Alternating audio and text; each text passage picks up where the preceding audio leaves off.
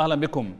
اعتبر مراقبون عراقيون أن إحاطة مبعوثة المبعوثه الامميه جنيل بلاسخار في مجلس الأمن تمثل اعترافا امميا واضحا وصريحا بتحول العراق إلى دولة فاشلة يتحكم فيها زعماء الميليشيات. وتتهم القوى الوطنية والشعبية العراقية الأمم المتحدة وممثليها في العراق بالتغطية على انتهاكات وممارسات النظام الطائفي الفاسد. واتباع سياسة قلب الحقائق في العراق الذي ما زال نظامه السياسي الحالي يراكم الفشل والكوارث منذ نحو عشرين عاما. كما حذر الناشطون من التعويل أو الرهان على المجتمع الدولي ممثلا بالأمم المتحدة في انتشال العراق من الضياع والدمار وإنقاذ الشعب العراقي من سطوة الميليشيات لأن المجتمع الدولي مشترك في عملية تدمير العراق. إصرار الأمم المتحدة على دعم النظام الطائفي الفاسد رغم مراكمته الكوارث والفشل منذ عشرين عاما. هو ما سنبحثه في حلقة الليلة من برنامج طاولة حوار وسنطرح فيها الأسئلة التالية. إلى متى سيظل المجتمع الدولي ممثلا بالأمم المتحدة يمارس دور المحلل السياسي مكتفيا بتوصيف الواقع الكارثي في العراق؟ ألا تعد الأمم المتحدة شريكة أساسية في كارثة العراق عبر إضفائها الشرعية الدولية على نظام طائفي فاسد ما زال يراكم الكوارث والفشل منذ عشرين عاما؟ ألا يشكل وضع العراق المعقد والشائك تحديا كبيرا للمجتمع الدولي ويحاول هذا المجتمع التعاطي معه بحكمة وحصافة لئلا ينزلق نحو الفوضى؟ ألم تعمل الأمم المتحدة وبعثاتها في العراق على إعانته بصفته بلدا محطما يحتاج إلى الدعم والإسناد؟ بعيد غزو العراق عام 2003 ألا تتحرك بعثة يونامي في العراق في أجواء سياسية وشعبية معقدة حيث المحاصصة الطائفية السياسية وهيمنة سلاح الميليشيات؟ ضيوف الطاولة رافع الفلاحي قحطان الخفاجي أحمد الجنابي. مهما حاولت التستر على الواقع وتجميل مساوئ الصراع السياسي لا يمكن لجنين بلاسخارت إخفاء الموقف الشعبي مما يجري في البلاد.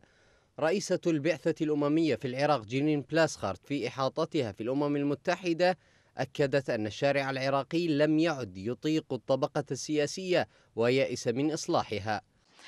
يمكنكم زيارة أي سوق في العراق والعراقيون سيقولون لكم أنه مرة أخرى لا يتم إيلاء الأولوية إلى المصلحة الوطنية بل يتم تغليب اعتبارات ضيقة الأفق للسيطرة على الموارد والسلطة. وتبين بلاسخارت أن الجوانب السلبية من الحياة السياسية العراقية لا تزال تعيد نفسها في حلقة مفرغة تقود إلى محصلة صفرية.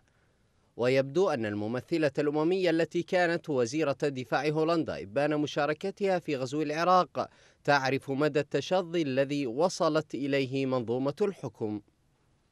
تلك المنظومة التي طالما دافعت عن أحزابها والتقت بزعماء ميليشياتها حتى في الوقت الذي سالت فيه دماء المتظاهرين في ثورة تشرين برصاص الميليشيات حتى أصبحت بلاسخارت في نظرة الشارع التشريني ممثلة للميليشيات وليس ممثلة أممية.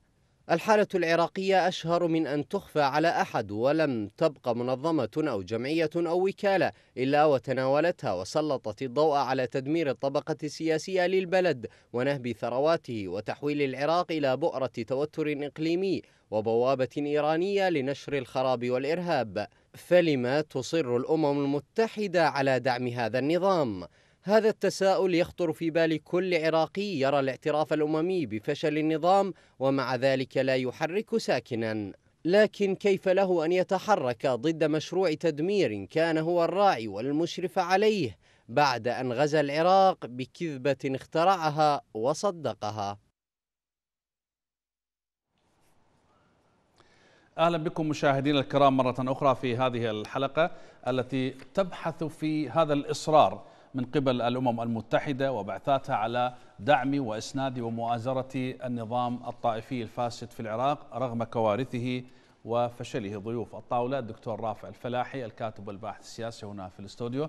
وسيكون معنا عبر سكايب أستاذ العلوم السياسية دكتور قحطان الخفاجي وأيضا سيكون معنا عبر الهاتف من واشنطن أحمد الجنابي رئيس موقع لانس أو لانس فاي.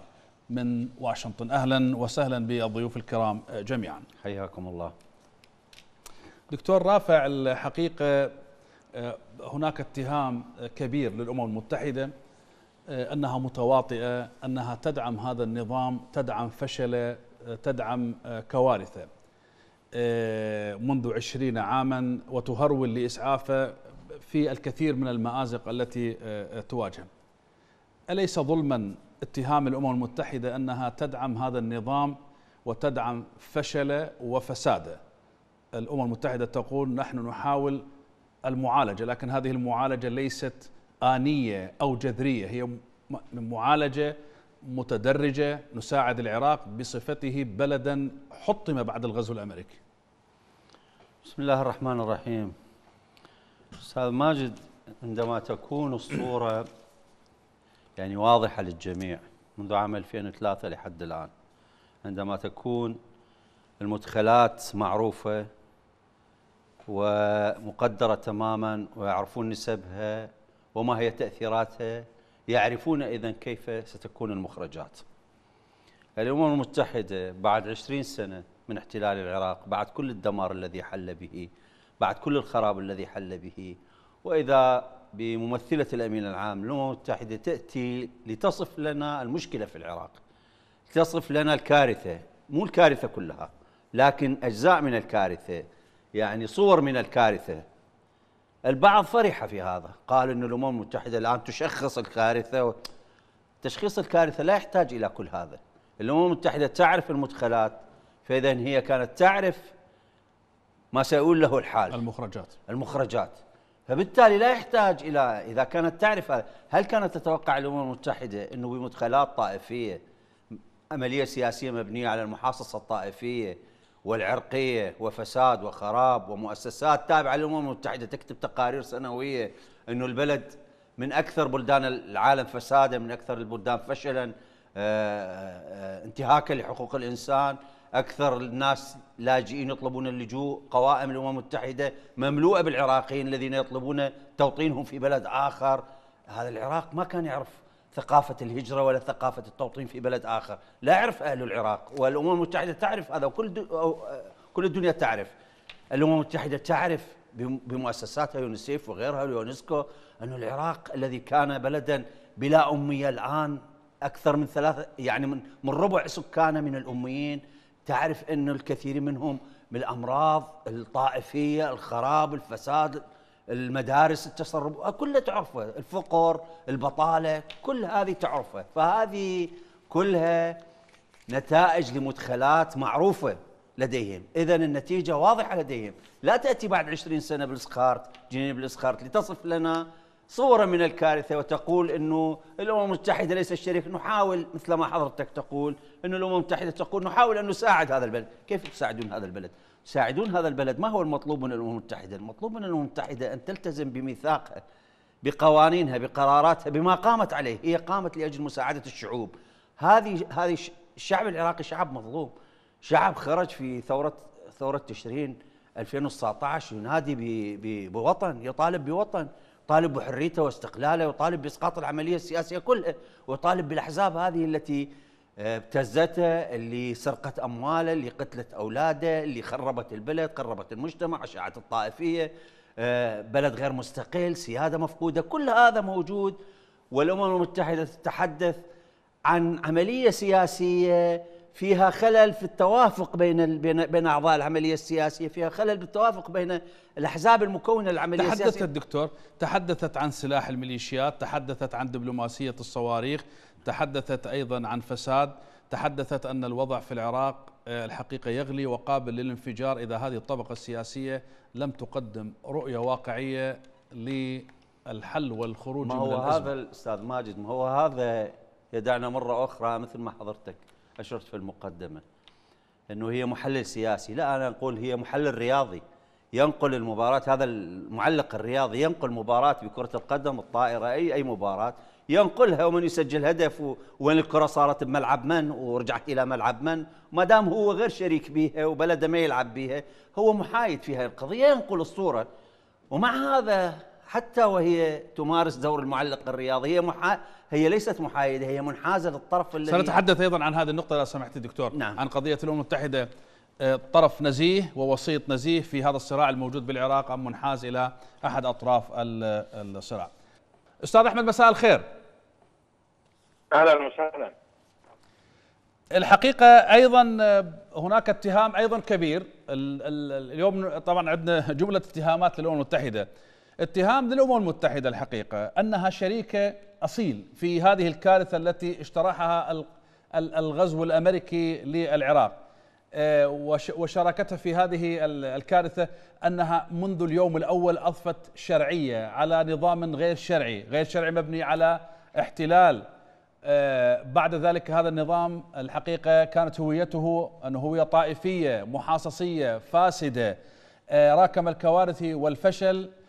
وكذلك مرتبط بأجندات خارجية. هذا أيضا ربما اتهام كبير خاصة أن الأمم المتحدة الحقيقة لم لم تجز غزو العراق لم تقدم لم تصدر تصدر قرارا بتخويل أمريكا وحلفائها بغزو العراق.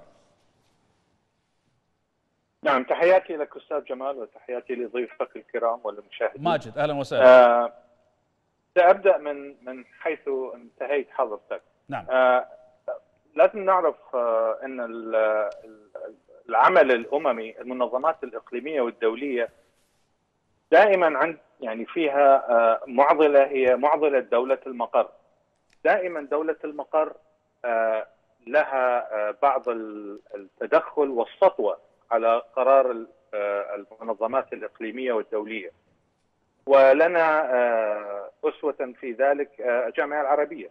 يعني الجامعة العربية قريبة من واقعنا وتعاني من نفس المعاناة سواء عندما كانت في تونس أو في مصر فكيف إذا كانت الدول يعني الأمم المتحدة تقع في دولة عظمى هي رقم واحد في كل شيء وهي من غزت العراق وهي من لها أجندة في حرب العراق علينا أن نعلم إنها إن تلك الأجندة لم تنتهي بعد.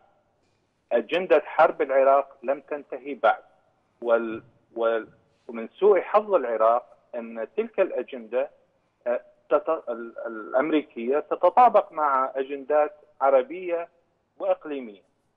لذلك آه، الأمم المتحدة آه، أنا أتحفظ على يعني كلمة تدعم النظام الحالي لا الأمم المتحدة في في الواقع وفي آه، واقع الحال وعلى الأرض هي سببت أزمة وتدي والآن هي في مرحلة إدارة الأزمة يعني كل ما تفعله لجان الأمم المتحدة هي تدير الأزمة لاحتوائها واستمرارها على الشكل الحالي.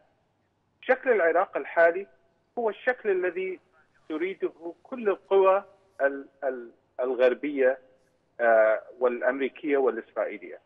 هي تريد هذا. يعني آه، حتى أنا دائما أتحفظ على لوم المسؤولين العراقيين وأتعجب من من من ناس من مواطنين عراقيين يكتبون على صفحات الفيسبوك لماذا لا يوجد كهرباء ويعاتبون الحكومة كيف تعاتبون شخصا هو وجد من أجل هذا هذا هو يعني العراق الأعرج هو الهدف. فما يعني ما يدار الآن هو آه، الحفاظ على العراق اعرجا. ونقطة سطر هذا ما هذا ما يحدث.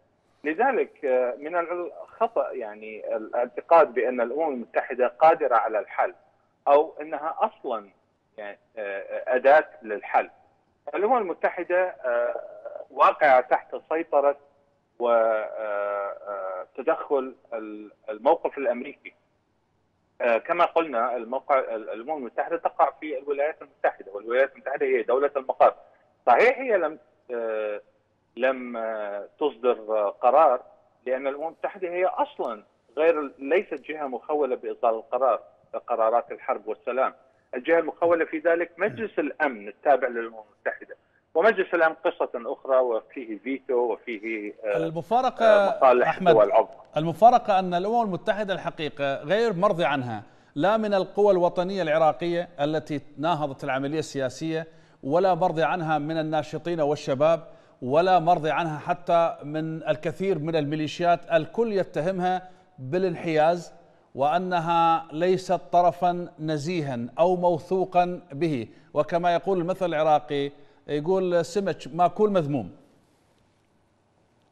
آه، يعني كما يعني صحيح كما كما أسلفت آه، هناك أطراف حتى إقليمية ودولية نعم. من مصلحتها إبقاء العراق بهذا الشكل آه يعني آه أتحاشى أن أسمي لأن المشكلة أنهم كلهم مثل ما يقول بالعراقي منا وعلينا نعم. بس آه المشكلة أن هناك أطراف تريد للعراق أن يبقى بهذا الشكل. نعم. وهذه الأطراف أجندتها تتطابق مع الأجندة الغربية. لذلك آه الأمم المتحدة تتحرك آه، بأجندة معينة. آه، لا يمكن لأحد أن يقنعني بأن الأمم المتحدة هي طرف محايد. لا الأمم المتحدة ليست طرفا محايدا لم تكن ولم تكن. وهذا هذا معروف في كل الأعمال المنظمات الإقليمية والدولية. دائما دائما هناك هناك تدخل هناك سطوة لدولة المقر. ودولة المقر لها أجندة في العراق لم تنتهي بعد. واضح. و آه، إيه؟ أشكرك. واضح أستاذ. آه، أستاذ أحمد. دكتور قحطان ويانا. دكتور آه، كنت أسألك عن ظلم آخر يرتبه العراقيون قوى وطنية ناشطون مدونون أن الأمم المتحدة تكتفي بالتفرج وفي أحسن الأحوال تحلل الأوضاع في العراق توثق تشخص تنقل الواقع الكارثي المستمر بعد عشرين عام. نحن بحاجة إلى عملية تشخيص أو توثيق بعد هذا الحصاد المر من 2003 إلى اليوم. توثيق أممي فقط توثيق وتشخيص؟ أنا آسف إلى القطع الذي حصل قبل قليل. ولكن آه، دعنا نوضح الأمر لإخوتنا عموما آه، مهنيا. الأمم المتحدة هي مؤسسة دولية آه، تدير شؤون المجتمع الدولي ولكن لا يخفى على الجميع مدى تأثير القوى المؤثرة الخمس دائمة العضوية في هذه المؤسسة.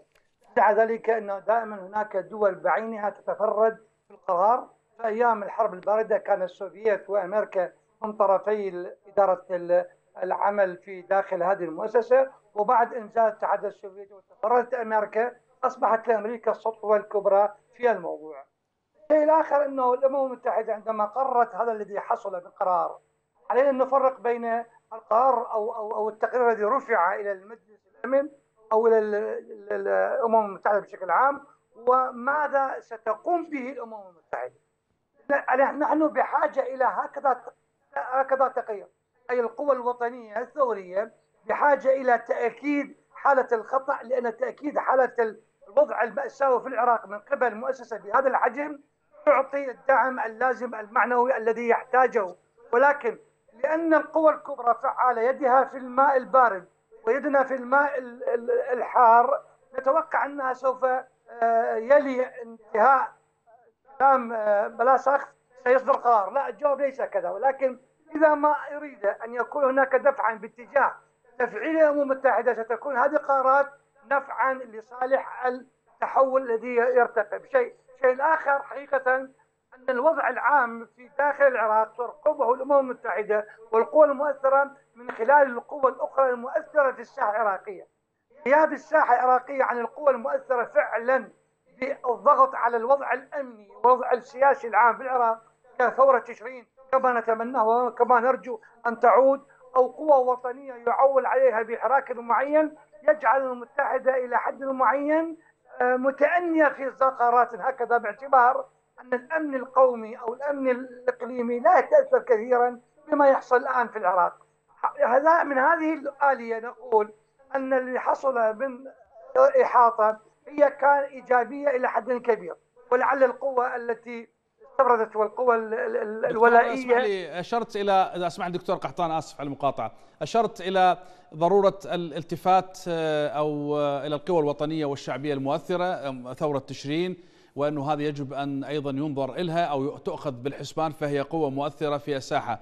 الحقيقة الأمم المتحدة التقت بهذه الحساسيات أو التيارات الشبابية والشابي الشباب والتنسيقيات من تشرين. هناك لقاءات متعددة للبعثة الدولية في العراق تم الاستماع لهم أخذت ملاحظاتهم طروحاتهم بنظر الاعتبار يعني حتى تكون الصورة أيضا الحقيقة كاملة واضحة بالتأكيد ولا أكون أنا لست بعيدا عن هذه الآلية بشكل أو بآخر نعم. ولكن نقول الآن الأمم المتحدة أو العالم ينظر للساحة العراقية إلى حد معين ليس هناك قوة ضاغطة بالحجم الذي يجبر العالم أن يفكر على عجالة في الشأن العراقي. أما حالة التردي العراقية القائمة فهي إرادة تقصد دولية. قوة ضاغطة قوة وطنية وشعبية خ- بالضد من العملية السياسية.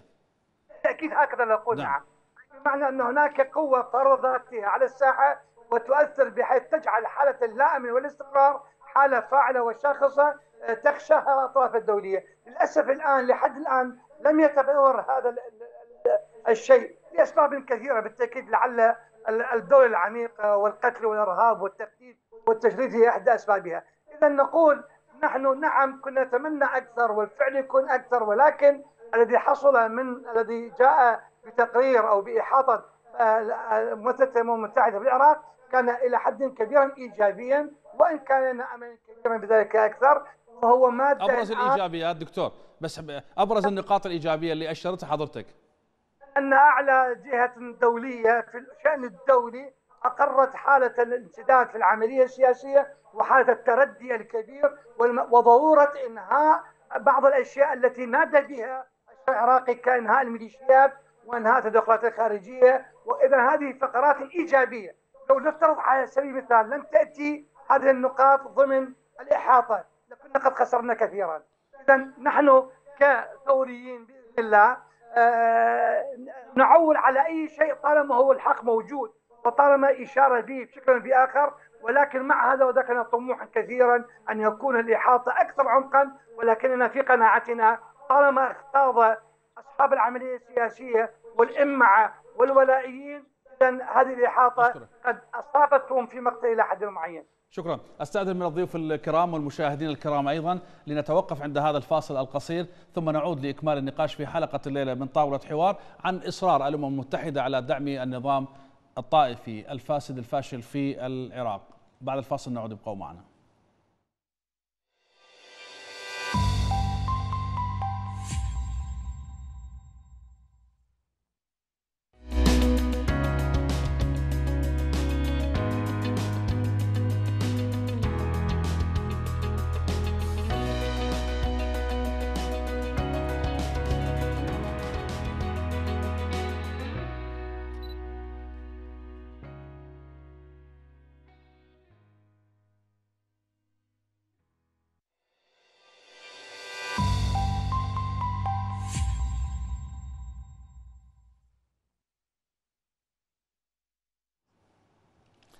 أهلا بكم مشاهدينا الكرام مرة أخرى في هذه الحلقة من طاولة حوار تبحث في إصرار الأمم المتحدة على دعم النظام الطائفي الفاسد في العراق.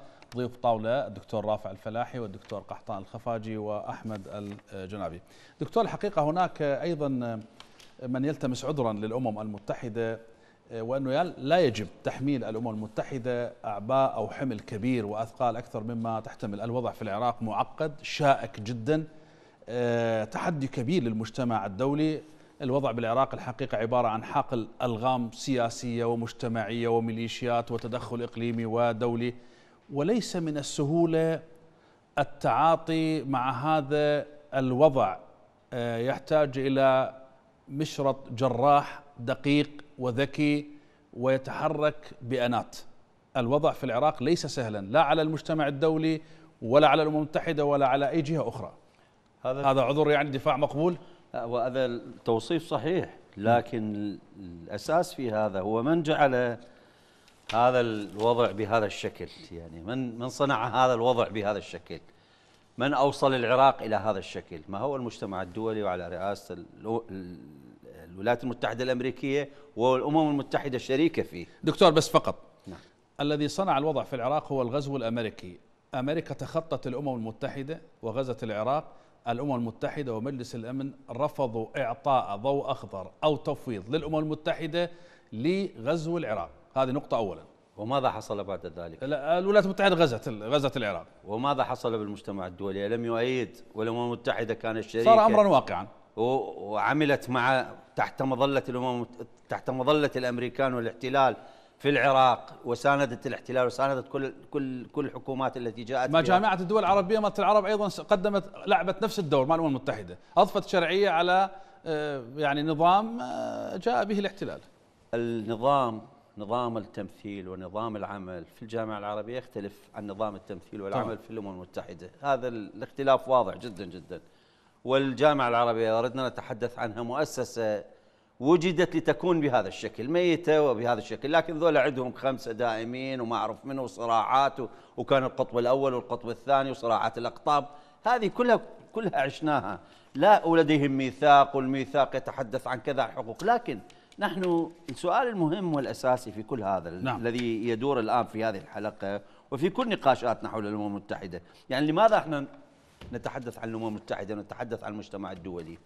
يعني حتى لا نقع في تناقض ولا يكون المشاهد ولا يكون المواطن العراقي أمام حالة متناقضة. ماذا يريد ماذا يريدون عندما يتحدثون؟ يعني الغاية في الحديث هذا نحن نقول حتى لا نكون في تناقض نحن نقول إن من يغير الوضع في العراق هم شعب العراق. من المعول عليه أن يغير كل هذا الواقع كل هذا الواقع المعقد ال- الخطير الذي تتحدث عنه اللي وصفته قبل قليل. قبل قليل والذي أنشأته وصنعته أمريكا والأمم المتحدة والمجتمع الدولي في العراق وكل من تعاون مع الاحتلال. هذا هذا المشهد الدامي من عشر من 20 سنة من من الذي يعول عليه بتغييره؟ الشعب العراقي فقط. أنت لا تعول على قوى خارجية تأتي لمساعدتك بغزو ثاني وأنت تعول على نفسك بغزو تجي لأمريكا وتغير لنا النظام. هذه يعني هذا عبث عبث و ولعب بمقدرات الشعوب. نحن نحتاج إلى أن يتحرك الشعب العراقي ضد هذا. لذلك نتحدث أن كل هذه القوى بما فيها الأمم المتحدة بكل هذه التوصيفات التي يسميها الدكتور قحطان وأنا احترم تسميته يعني يسميها نقاط إيجابية ذكرتها. بالإحاطة. بالإحاطة. إيه. نعم قد تكون نقاط إيجابية أشارت إليها لكن واقع الحال هل هو المطلوب من عندها أن تتحدث بهذه الط... أن نحن نحن نحتاج أن يصف لنا أحد المشكلة؟ ما المشكلة دوليا وعالم كل الكل يعرفها وامريكا التي جاءت بهذه تعرف هذا الوضع معليش دكتور هذه ربما هناك هذا الوضع مثالي بالنسبة لهم تمام. بالعراق. هذه الحقيقة أن الأمم المتحدة تتحدث عن سلبيات وسلبيات كبيرة عن ميليشيات وصواريخ والحقيقة هناك من يعتبرها أنها خطوة أو خطوات متقدمة عما كان عليه الحال من 2003 إلى هذه السنين. طيب. جيد هذه خطوة على الطريق. طيب ماشي. لكن في نفس الوقت ماذا تريد الأمم المتحدة؟ نعم.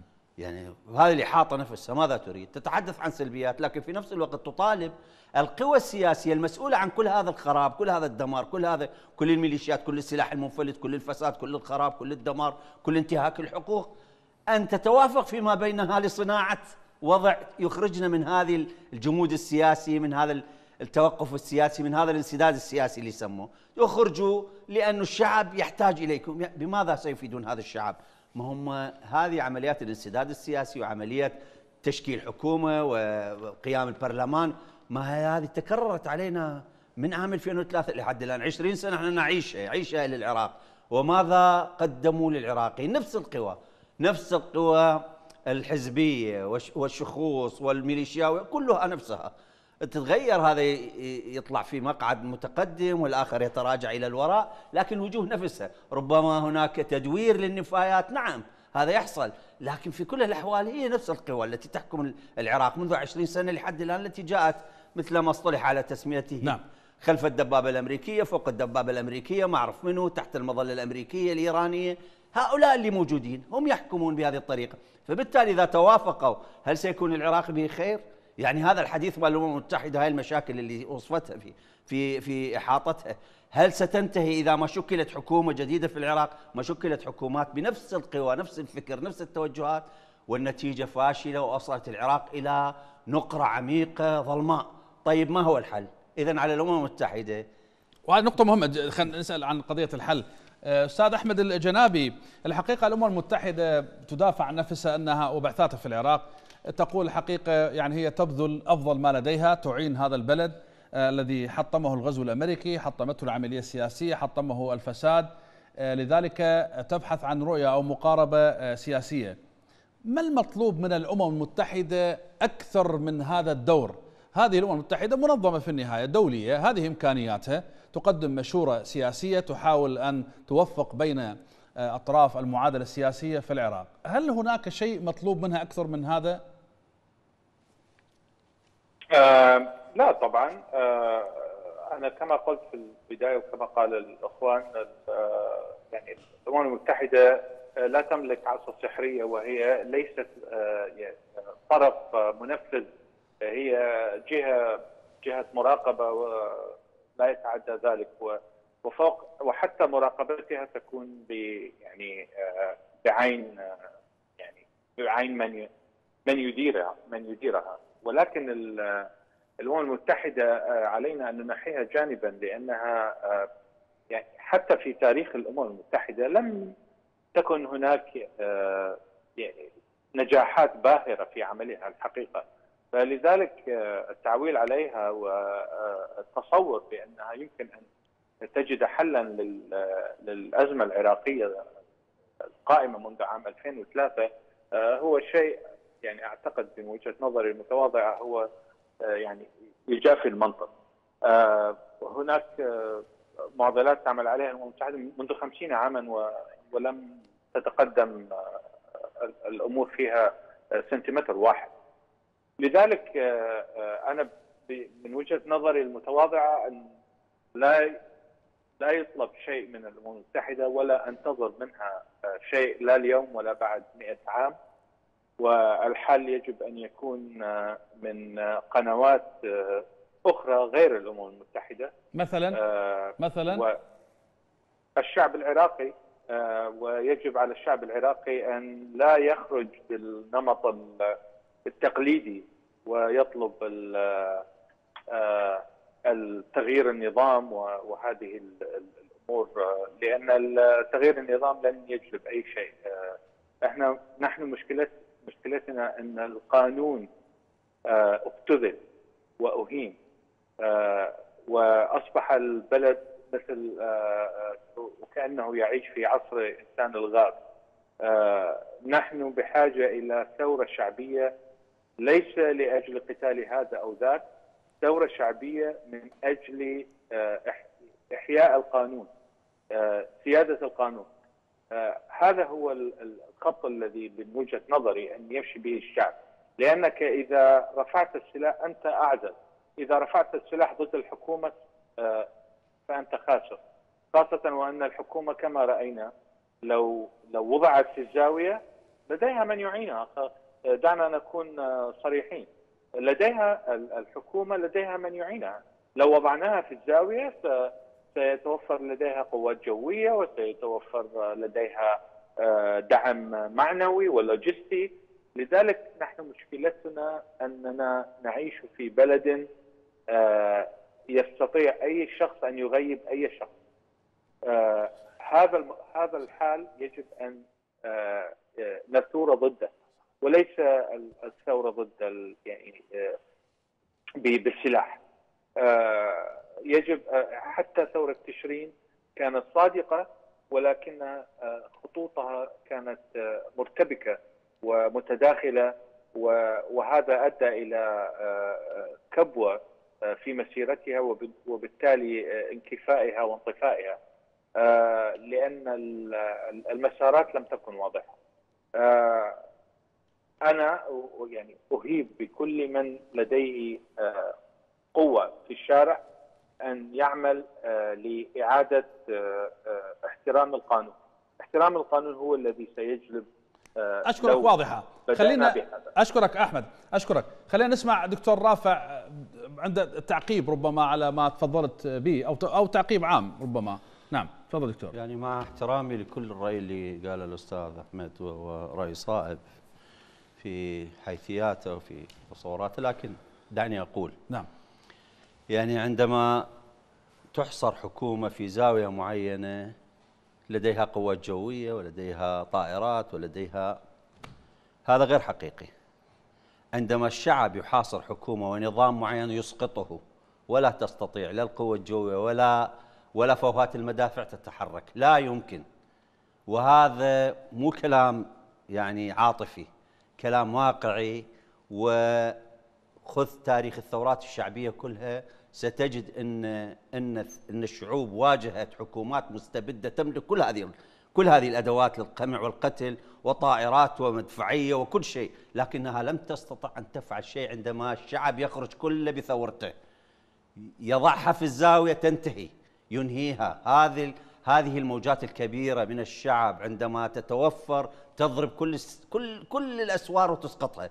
هذا واقع الحال. والثورات خذ من ثورة من ثورة السوفيت عام 1917 وادخل في ثورات كثيرة قبلها وبعدها وصولا إلى ثورات حتى ما نشكك به ثورات الربيع العربي حتى ما حصل في مصر حتى ما حصل في تونس. هذا كله جزء من ثورات الشعوب. نعم قد انحرفت قد راحت باتجاه آخر لكن واقع الحال هكذا. كانت الحكومات تملك القدرات وتملك أجهزة قمعية لكنها لم تستطع أن تحركها ولا تستطيع. وفي ثورة تشرين لو كنا نذكر في أول أيام لم تستطع كل القوى القمعية أن توقف هذه الثورة كان ممكن أن تزيح كل شيء لو كانت القيادات قيادات ثورة تشرين قادرة أن تمسك بالوضع بشكل مرتب لكان مضت في في في طريق ثورتها وهناك يعني حسابات أخرى. هذه من ناحية. الناحية الأخرى المهمة آه، نحن نعم نحو يعني لا نعول على الأمم المتحدة ولا نعول ولا نطلب من الأمم المتحدة ولا نطلب من أحد لأن الأمم المتحدة شريكة لكنها مؤثرة. يعني خاصة في قضية العراق. نحن كلنا نذكر إنه 13 سنة من الحصار كانت الأمم المتحدة أداة أساسية في قتل العراقيين. في حصار العراقيين ما شاء الله أستاذ أحمد أنه أداة دائما في الحصار في الحرب دائما نعم أداة. نعم. أداة بيد دولة نعم المقام بيد, بيد, بيد هي هي هي دائرة تابعة للخارجية الأمريكية هذا واضح. نعم, نعم. فلذلك الأمم المتحدة ليست طرفا محايدا هذا منتهين من عنده ويبقى التعويل على الشعب العراقي لكن الشعب العراقي بثورته قادر أن يفعل كل شيء نعم. إذا ما. والنقطة المهمة أيضا أنه إحنا حتى نحيي القانون وهو حقيقة هو مطلب صحيح. حتى نقيم القانون ونقيم دولة القانون يجب أن نسقط من يقفون ضد القانون من يتاجرون بالقانون من لا يحترمون القانون. من هؤلاء الذين لا يحترمون القانون؟ من الذين جعلوا القانون مطية لهم؟ السلطة الحكومات. إذا أنت عليك أن تسقط السلطات.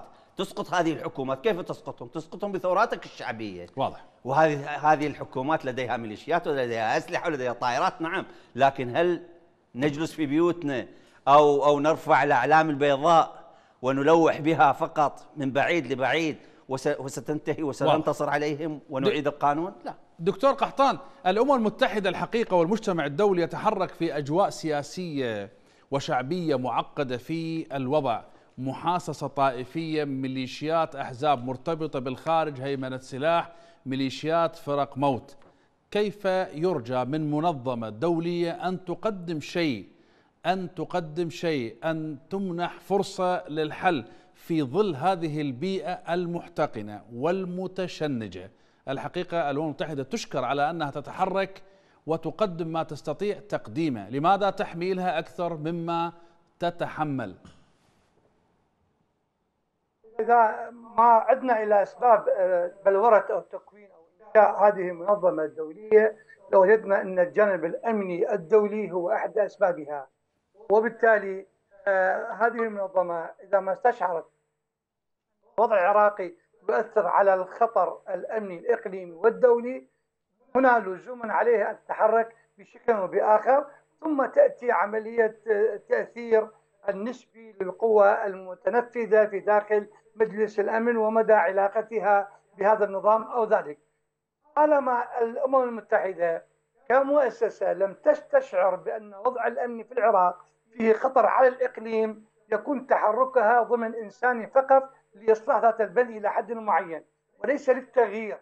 وبالتالي أنا أرى أو صوتي بالتأكيد الأصوات اللي تقول أن يجب على العراق كشعب أن يثبت للعالم أن وجوده فاعل لدرجة أن عدم استقرار العراق للضغط باتجاه تغيير نظام الحكومة القائم والآلية العملية السياسية وما تأثير هذه على الأمن الإقليمي هو الذي يجبر الأمم المتحدة إلى حد معين أن تكون طرف في هذا الموضوع وأن ترى فيه خطورة. كيف تكون هذه الأمور؟ يجب أن تكون أن هناك حراك عراقي كبير يزعزع هذه ممتاز. على ذكر الحراك الشعبي أنت تعلم أن هذا النظام الذي صمم عام 2003 صممه الأمريكيون والإيرانيون. جوبها الحقيقة منذ اليوم الأول بالرفض والممانعة والمناهضة. آه، أول ما تفجرت بوجهه المقاومة الوطنية وصلنا إلى 25 إشباط في عام 2011 تظاهرات في 55 مدينة ثم تظاهرات 2012 في المحافظات المنكوبة أو المنتفضة سميها ما شئت تظاهرات البصرة والكهرباء وصولا إلى إلى آه، تظاهرات ثورة تشرين. ما الذي يريده المجتمع الدولي ليقتنع أن الشعب العراقي رافض لهذا النظام السياسي؟ يعني هذه المميزة عند العراق وثورته الشعبية. كيف؟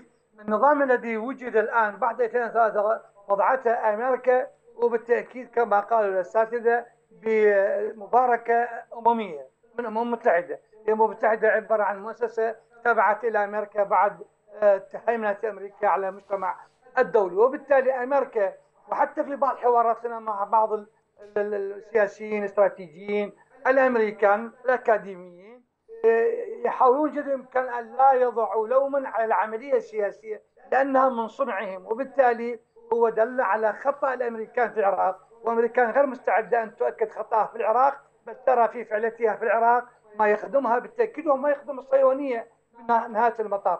إذا للأسف الشديد أن وضع العراقي هو صنع أو صمم بإرادة أمريكية هو الامم المتحده بيد أمريكا فأمريكا لا تذهب بعيدا إلى أن تكون فاعلة في تغيير العملية السياسية إلا إذا كان.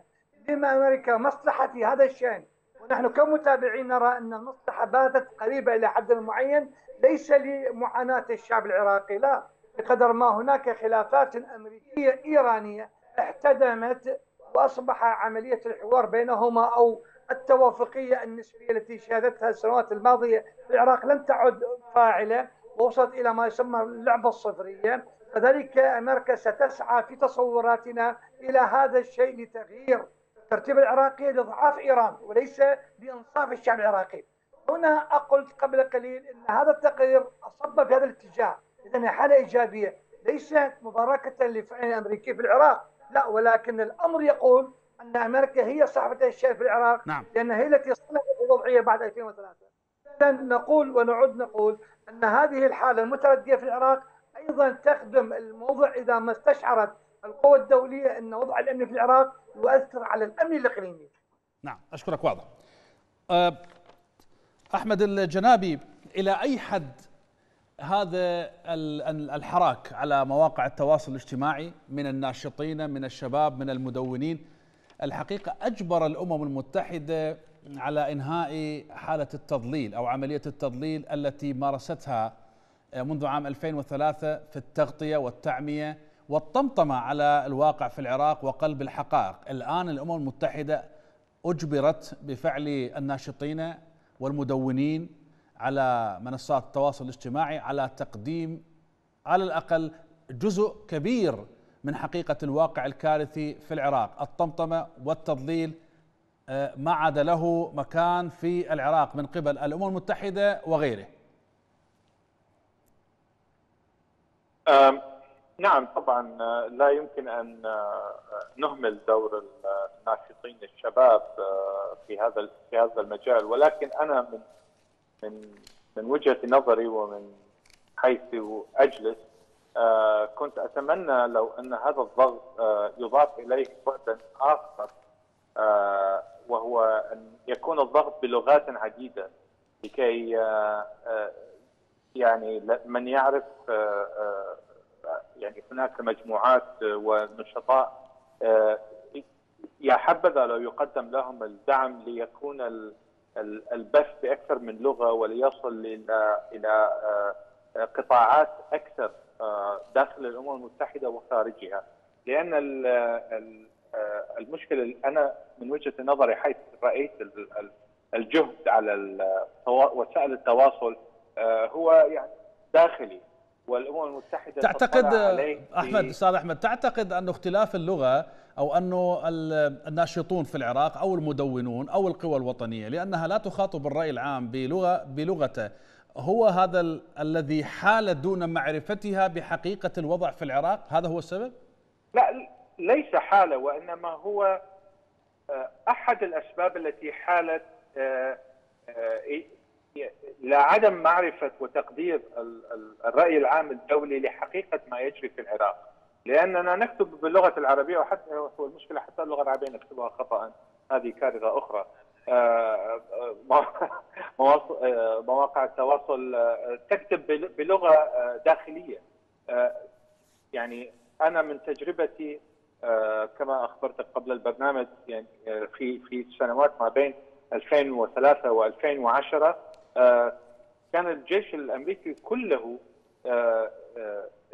يراقب موقع الجزيرة باللغة الإنجليزية لأنه كان النافذة الوحيدة لهم ليعرفوا ما يجري بالعراق نعم. بالضبط آه، فلذلك مخاطبة الرأي العام العالمي آه، بأكثر من لسان مهمة جدا آه، لإضافة ثقل وبعد للمطالب العراقية المشروعة.